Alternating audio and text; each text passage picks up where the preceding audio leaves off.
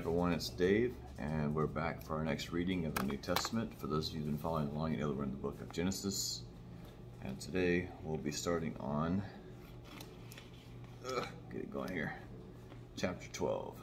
All right, so, uh, sorry, not chapter 12, chapter 13. All right, so um, if you don't have a Bible, remember that you can go to Bible.com or download the YouVersion app and read for free. Um, so chapter 13 today, we're going to talk about Abram's return to Bethel. Abram and Lot separate, and God renews his covenant for a total of 18 verses. All right. And Abram went up out of Egypt, he and his wife, and all that he had, and Lot with him, into the south. And Abram was very rich in cattle, in silver, and in gold. And he went on his journeys from the south even to Bethel, unto the place where his tent had been at the beginning, between Bethel and Hai, unto, a pla- unto the place of the altar which he had made there at the first. And there Abram called on the name of the Lord. And Lot also went with, with Abram, had flocks and herds and tents, and the land was not able to bear them, and that they might dwell together, for their substance was great, so that they could not dwell together. And there was strife between the herdmen of Abram's cattle and the herdmen of Lot's cattle, and the Canaanite and Perizzite dwelled then in the land. And Abraham said, sorry, Abram said unto Lot, Let there be no strife, I pray thee, between me and thee, and between my herdmen and thy herdmen, for we be brethren. Is not the whole land before thee? Separate thyself, I pray, from me.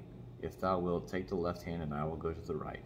Or if thou depart to the right hand, then I will go to the left. And Lot lifted his eyes and beheld the plain of Jordan, and it was well watered everywhere before the Lord destroyed Sodom and Gomorrah, even as the garden of the Lord, like the land of Egypt, as thou comest unto Zoar.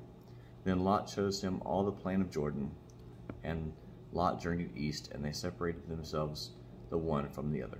And Abram dwelled in the land of Canaan, and Lot dwelled in the cities of the plain, and pitched his tent toward Sodom.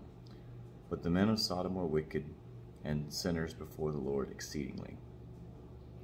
And the Lord said unto Abram, after, the, after that Lot was separated from him, Lift up thine own eyes, and now look, and look from the place where thou art northward, and southward, and eastward, and westward.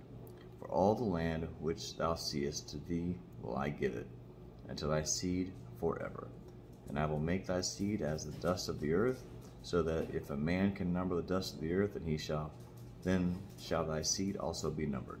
Arise, walk throughout the land in the length of it, and in the breadth of it, for I will give it unto thee.